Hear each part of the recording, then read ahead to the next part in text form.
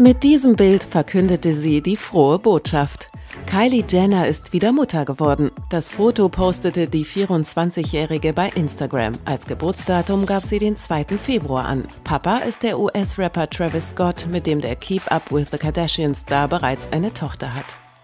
Nicht nur die Fans überhäuften die frisch gebackene Zweifachmutter mit Glückwünschen.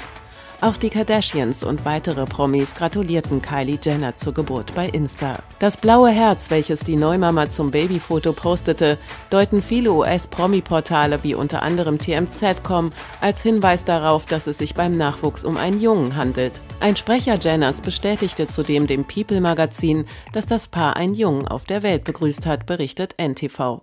309 Millionen FollowerInnen hat die Unternehmerin bei Instagram. Im September 2021 gab Kylie Jenner ihre Schwangerschaft bekannt und erfreute ihre Insta-Fans seitdem mit Fotos ihrer wachsenden Babykugel.